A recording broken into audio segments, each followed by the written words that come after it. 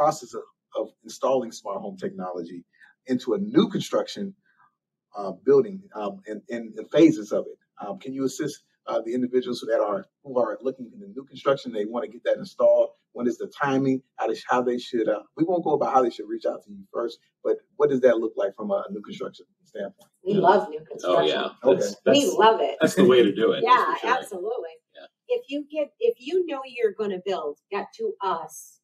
Um, it, well, there's a couple different ways to do it, right? If you're using an interior designer, that's fantastic because we can work directly with the interior designer to make sure lighting and everything is what it, what it needs to be for your home.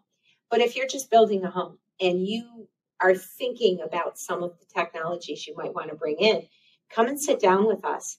Um, we'll talk you through all of the possibilities. And then what we can do is pre-wire your home for them. It doesn't mean you have to get them all at once, Mhm. but when you're ready down the road, say you build the home and five years later you decide, you know what, I want to add speakers here now. Guess what? Your wiring's already there.